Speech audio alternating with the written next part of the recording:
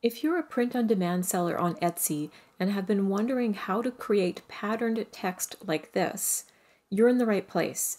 In this video, I'll show you examples of this trending design style and how you can create your own version using Canva and Photoshop. Let's jump in. To begin, I wanted to show you some specific examples of the design style I'm talking about and with Mother's Day right around the corner, I'm filming this in early February, I thought it would be appropriate to show you some mama t-shirts that use this design technique. So we have here a mama shirt with checkers on the inside of the letters, which is a really popular option, this checkered look. We have another cute design here with mama with a heart pattern on the inside. And another really cute design that's quite trendy right now is this blue toile design inside of letters. So how do these designers achieve this? Sometimes you can buy text or fonts with patterns inside them already on places like Creative Market and Creative Fabrica. You can even find some pattern text on Canva. But what if you had a specific pattern that you wanted to put into text that you can't find anywhere? Well, that's what I'm going to show you how to do next. The first thing we'll need to do is to decide which pattern we want to have inside of our text. So here I am on Canva. I do have a pro plan, but I believe even with a free plan, you can get some pretty great results for this project. So the first thing we'll do here is head up to Elements and because it's Mother's Day, I think a floral pattern would be nice. So we'll type that in and then we'll head over to the graphics section.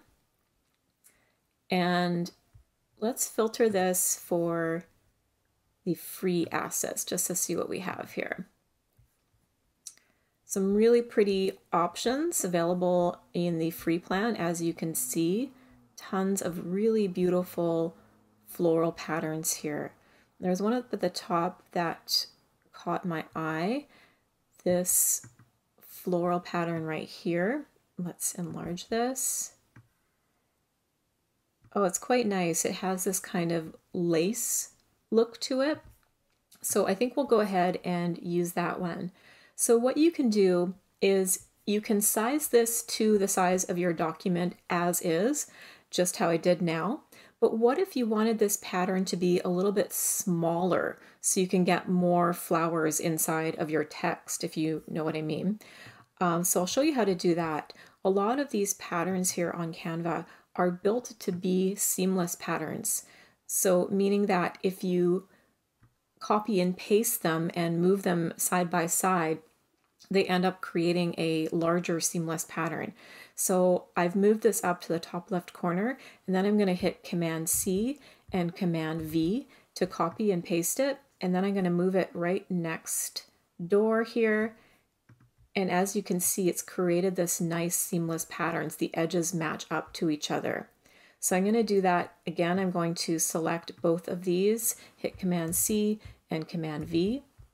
And then I'm going to move that new block down of both squares.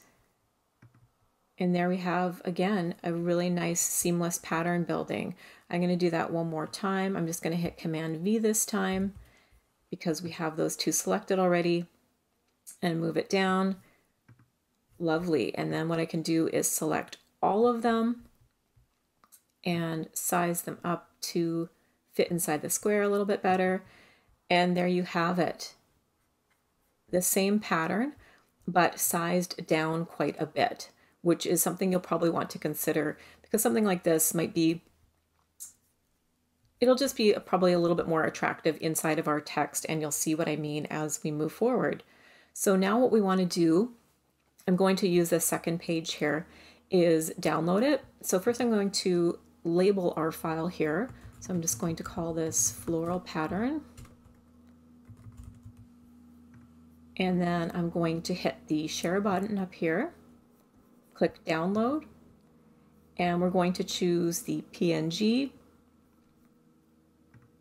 And we're going to select the page we want, which is page two. Hit done. And we don't need a transparent background or any of these others ticked off, so we'll just hit download. Now that we have our floral pattern downloaded, we want to add it to our text. So what we're going to do is add a new page to our design, and then we're going to come over to the apps menu on Canva here. So we'll click on that. And what we're looking for is an app called Type Cutout.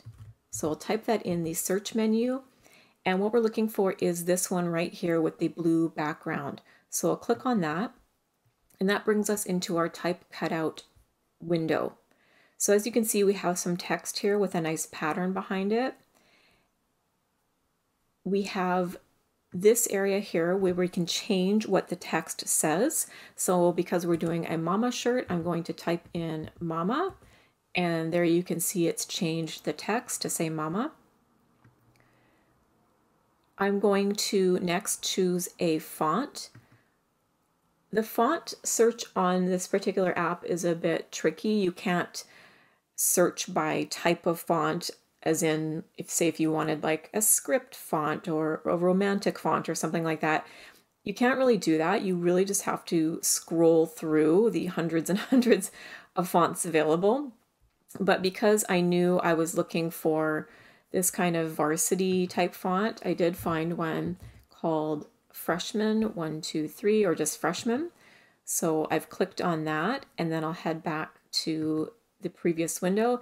And there you can see it's changed the font to be that freshman font. Now what we want to do is change the image inside of the text to be our floral design that we made. So we're going to click on change image here and we're going to click on choose file. Brings us to our download folder. So I'll choose our floral design and boom, there you have it. It has changed the inside of the text to be our beautiful pink or red floral pattern. You can also change the position of the text using this button. You can rotate it and you can also scale it. So that'd be fun to play around with those options. But for now, I'm just going to add this design to our page three here. So I'll click add to design and there we have it inside of our design. So it's a little hard to see with the white background, so I'm just going to change that to black as well and then center it. Unfortunately, with the Type Cutout app, you can't add an arch to the text or do some other effects that you would be able to do with normal text. So there is a bit of limitations with this app. But what you can do is add an outline to the text. So to do that, we'll have the text selected here and we'll come up to edit and then we'll come down to shadows and we'll choose outline. We'll click on that and then we can change the color of the outline here. So we'll click on that and let's choose a nice pink color for that. And as you can see, it's quite a thick outline, so we might want to downsize the size of the outline a little bit so we can actually see the cutouts in the A's a little bit better. So there you go. You can play around with different colors of the outline. I kind of liked that first pinky color we had, so we'll stick with that. And there you have it. So what you can do from here is share the file or download it. So we'll hit share, click on download, and then for this you would want to choose a transparent background. So click on that, choose the current page, which is page three here. So that selects just this page, and then hit down done and then download. And that will give you a nice transparent background version of this file that, that you can go ahead and place on your t-shirts, your tote bags, whichever product you're wanting this on. Now that we've completed our Canva version of this process, let's go ahead and do our Photoshop version. So the first thing we'll do is we'll add a new page to our design. I'm going to change the background color back to white here.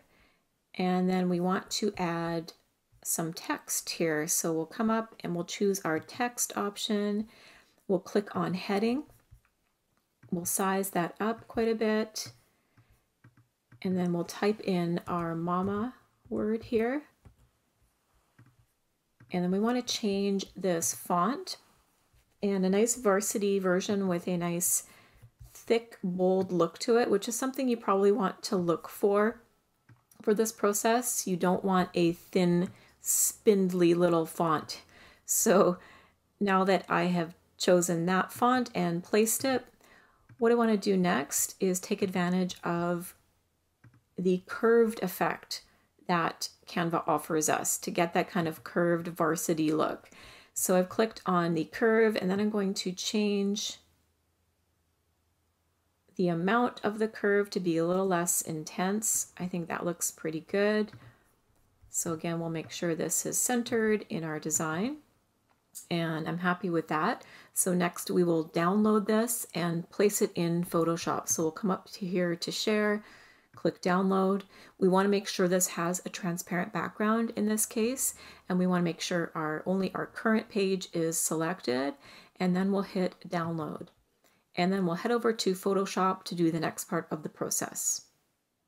So here we are in Photoshop. I'm creating a new document. I want to size it the same size as our original design, which was 4500 by 4500 pixels. And our resolution, probably 300 is probably a bit of an overkill, but we want a nice large file size, so we'll stick with that and we'll hit create. Now we want to bring in our Mama font. So I will drag that in from our downloads folder. And there we go. We'll click return or enter and now we also want to bring in our floral pattern. So again, we'll go to our downloads folder and drag that in.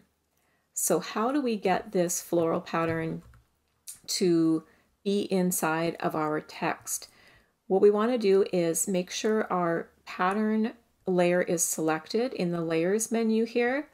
And then what we can do is hit the option key and once you see that little arrow with a box beside it, you can click on that. And boom, there we have our pattern nicely tucked inside of our mama text. I'm going to change the background color so we can see this a little bit better. So there you go. We can see our lovely lacy floral pattern inside of the text here. So similarly to Canva, we can add an outline now to this font or this text. So how do we do that? We want to click on the text layer and then we want to come here to effects and choose stroke. And as you can see, it's added a stroke to our text here. You can change the color. First of all, let's do that. So we have something that flows a bit better with our design. A nice pink color, again, I think is really nice. Maybe a little bit lighter. That looks pretty good. So we'll click OK now that we've chosen our color. We can change the placement of the stroke. It's set to center right now. If we hit outside, you can see it goes to the outside of the text. If we click inside, it goes to the inside of the text. I think center is a nice kind of middle ground here. And then we can change the size of the stroke as well. So I'm going to size it down a little bit. And I think that looks pretty good. You can also change the blend mode, but we won't worry about that for now. We're just looking for a simple outline. So now we'll click OK, and there we have our font outlined. Now, what if we wanted to change the color of the pattern inside of our text? Photoshop gives us the ability to do that. So what we want to do is click on our floral pattern layer and then come down to the effects menu here, click on that and choose color overlay. That brings up this new window. And what you want to do is from the blend mode menu here, is choose color as the option. You can see it's got tons of different options, but for our purposes, we want to choose color. And then we can click on that little color square and choose pretty much any color we want. Green looks cute, more of a bright purple, light purple, but I kind of like the blue option. That kind of light blue I think works really well with this design. So we'll click on OK. And then you can change the opacity of that overlay, but I think to really truly change the color, you probably want it up at 100%. So now that we're happy with that, we can click OK. And then of course our stroke no longer matches our design. So we probably want to change that to a blue color as well. So we'll come down here to the text layer and we'll double click on the stroke right there. That brings us into this window, which gives us the ability to change the stroke color. If we want it to match the, the new blue that we've got, we can just bring our color picker right over and choose that. We might want to make it a little bit darker than the inside of the pattern, so let's do that. And then we'll click OK. And now that we're happy with that, we can click OK again. And there we have it. There's one other cool thing I want to show you how to do here in Photoshop that changes the look of this design a little bit. What if we wanted our mama text to be more elongated, to fill up more of the page here?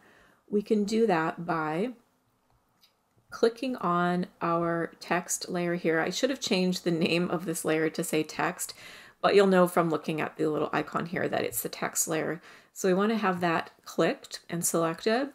And then we want to come up here to the edit menu and we want to choose transform. Another menu will come up to the side here and we want to click distort. That will bring up this transformation box and what we can do then is drag up on the top and bottom. And as you can see, now our mama text is elongated. So it's not quite as short and stout, if you know what I mean. So that's a really cool thing. So we'll make sure that's placed and we'll hit enter or return and there you go, we have an elongated version of our design here. The other thing I wanted to show you was the ability to move the floral pattern around inside of our text to kind of choose the perfect placement.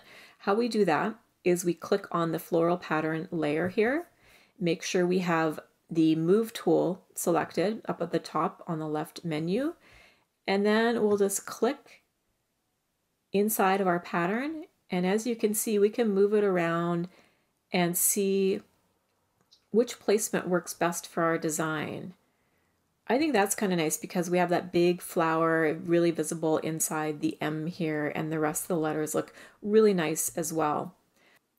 So now that we're happy with our new blue version of the design, we can go ahead and export that. What we want to do first is get rid of our background. So we'll come down here and click on that eye icon in the background. And as you can see, it's given us our nice transparent checkerboard background, which is what we want. And then we'll come up to the file menu to export, quick export as PNG, which is what we want. And then you can save it to whichever folder you want. We'll do, call this blue floral mama and hit save and then that will be wherever you save it and you can take it from there and use it for your t-shirt designs, tote bag designs, whatever it is you want to print on. And there you have it. You now know how to create your own text designs with patterned overlays. Let me know in the comments if you try this process for yourself or if there are any other tutorial ideas you'd like to see on my channel. And if you're looking for inspiration on the most profitable niches for your print on demand shop, check out this video next. Thanks for watching.